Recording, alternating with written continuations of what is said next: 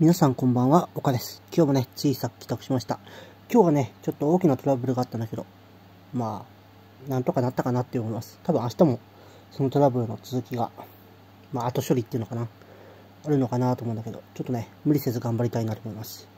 あんまりね、ちょっと、これ以上多忙になるとやばいので、これなんとかうまく終わらせないとなと思います。なんかね、俺の人生上、一難差ってまた一難という言葉があるけど、俺の場合、一難差ってまた五難ぐらい来るから、今日ね、無理せずに頑張りたいなと思います。まあ一難一難がね、うん。少ないこととか小さいことだからいいんだけど、大きなのが5難来るとやばいなと思う。今日ちょっとね、1個ね、大きなのが来ちゃったから、あと2つぐらい大きなのが重なると、もうお手上げ状態だなっていう。まあ、まあ、なんとかなるでしょう。みんなで力を合わせて、ね、職員さんたちと力を合わせてなんとか乗り切りましょうっていう感じなので、まあ夏はね、何かとトラブルが起きたりとか、大きな問題が発生したりとかするんで、仕方ないのかなと思います。なかなかね、休めないね。夏休みがもらえるっていうか、ちょっと有給取ろうと思ったんだけど、その有給取ろうかなって思った矢先の出来事だったんで、まだまだ休めねえなって感じです。まあそれでもね、岡君はちゃんと休んでるし、まあ無理せずね、ちゃんと過ごしてるので、多分大丈夫です。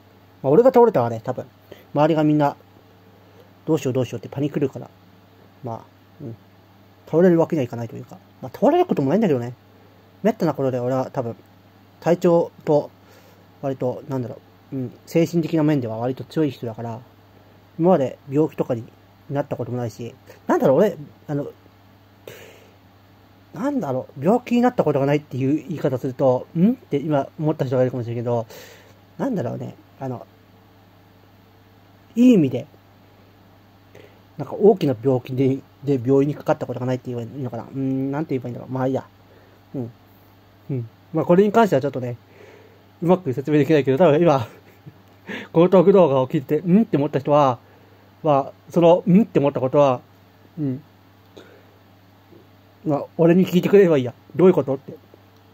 まあ、岡君は元気だよということだ。は、まあ、間違いないです。